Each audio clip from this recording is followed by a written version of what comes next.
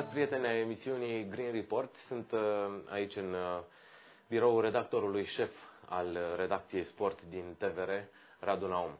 Fără să știu, am dat peste un ecologist, am aflat uh, asta cu scurtă vreme înainte de la producătorul emisiunii, am aflat că Radu Naum a participat la cel puțin o acțiune ecologistă. Salut, Radu! Salut! Subiecte pe teme de ecologie generală. Dacă vrei, eu pot să le spun de civilizație unde suntem noi din punctul de vedere al ecologiei, noi românii, și unde vrem să ajungem și dacă putem. In the road to nowhere, ca să spun așa, nicăieri, nu suntem nicăieri.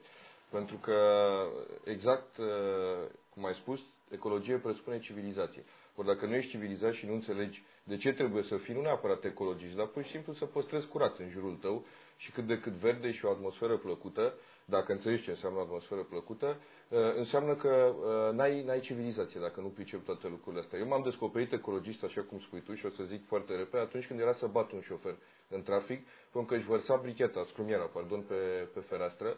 Și pentru mine a fost un momentul ăla, sigur că probabil că se adunaseră mai multe, mi-au preznit fuzibile, m-am dat jos din mașină la stop, m-am dus și am început să urlu la el.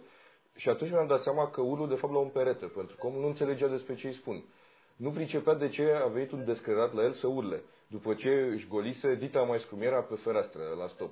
Uh, sigur că era un muncitor oarecare, un șofer oarecare, uh, dar exact cu asemenea oameni, nu trebuie să fii intelectual de rasă ca să poți să înțelegi că nu trebuie să murdărești acolo unde stai și unde mergi, că până la urmă o să se întoarcă împotriva ta. Până când nu simțim asta, nu o să facem nimic.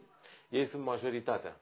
Și uh, nu-mi dau seama cum putem să pătrundem până la ei, luând atitudine așa cum ai simțit tu nevoia să iei sau așa cum am luat eu atitudine de multe ori eh, în trafic sau pe stradă și riscând să mă fac neînțeles sau uh, încercând să, ca într-o emisiune pe săptămână, să spun ce am de spus. Dar dacă s-ar aplica niște legi, dar dacă românii ar fi amendați pe bune de către un jandarm, gardian, în momentul în care uh, în momentul în care face mizerie, pur și simplu. O luăm de la nivelul cel mai de jos. Nu, nu se poate face asta, Marius. Și o să spun de ce. Pentru că și poliția și jandarmeria sunt, uh, toate aceste instituții, au oameni ieșiți dintre noi.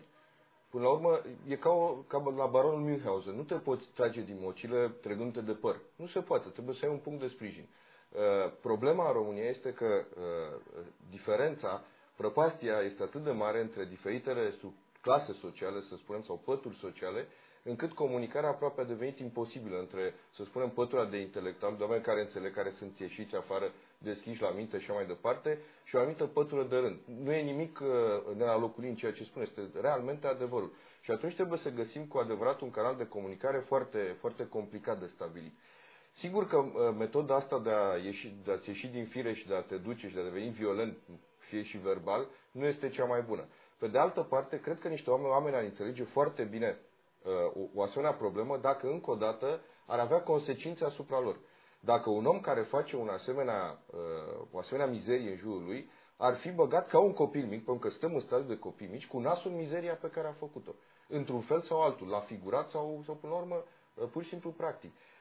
E clar că trebuie să existe mai mult decât câteva emisiuni, cu tot respectul pentru emisiunea voastră și pentru altele, cu tot respectul pentru tot ceea ce se întâmplă în, în diferite locuri, cu diferite organizații, trebuie să existe la un moment dat un mijloc de coerciție. Asta pe de o parte. Pe de altă parte, ce se întâmplă în proiecte gen Tășuleasa, despre care vorbeam mai devreme, este tocmai să educe o generație care să înțeleagă ce înseamnă ecologie. Că ecologie rimează cu cultură, că rimează cu, cu a, a fi bine în pielea ta, Uh, că rimează cu a-și crea un, un grup de prieteni și un anumit uh, network, dacă vrei, la, la nivel, chiar la nivel de, de sate, de, de localități, de, de oameni care pricep și care vorbesc aceeași limbă și toate lucrurile astea nu-ți dau numai o satisfacție imediată că e curat în jurul tău, dar îți dau o experiență de viață care te poate duce în foarte multe direcții și poți să începi de aici. Cred că mi se pare important ce fac oamenii de genul ăsta, că se duc foarte, foarte jos la nivelul vârstei și încearcă să formeze de acolo, să ecoformeze oamenii de la, de la nivelul acela. Altfel sunt, e, e greu că majoritatea care este de la o anumită vârstă în sus e foarte greu de civilizat, foarte greu de culturalizat pe momentul ăsta. Cred că anumite mijloace de coerciție ar trebui să, să existe. Pe de altă parte, nu li se dă oamenilor legii aceste mijloace. Eu m-am oprit, așa cum m-am oprit la șoferul respectiv, m-am oprit la polițiști, după ce trecea câte o rabă care ne scurta viața cu tunan fiecăruia dintre cei care eram, erau în trafic și ziceam, omule, nu se poate ca pe noi să zicem să ne oprești, că nu știu, am trecut pe galben verde sau galben roșu și, și pe ăsta care ne omoare să-l ai. Și mi-a spus foarte sincer omul, vrem să facem asta, nu ni se dau acele instrumente pe care să le băgăm, era să zic în fund, în țeava uh, camionului și să vedem să, pe loc să-i luăm talon și nu ni se dau. Probabil, mi-a spus omul sincer, e o politică economică să nu fie loviți mici întreprinzători sau mai mari, sau mai mari. Ca, dar însă după 18 ani am impresia că trebuie loviți, că altfel murim ori noi, ori noi cu ei de gât. Îți mulțumesc foarte mult, Radu.